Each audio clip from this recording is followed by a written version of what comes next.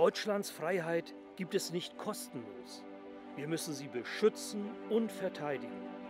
Ich will ein Deutschland mit einer starken Bundeswehr, die ihren Verteidigungsauftrag wieder erfüllen kann. Ich will eine Bundeswehr, die ihren Kernauftrag beherrscht.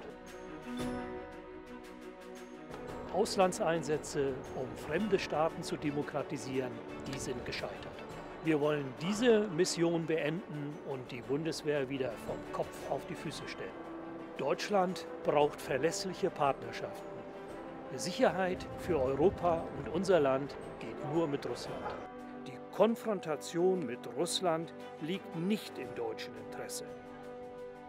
Frieden und Sicherheit durch eigene Stärke. Wir wollen eine starke Bundeswehr und für mich gilt unverändert, wir müssen kämpfen können, um nicht kämpfen zu müssen.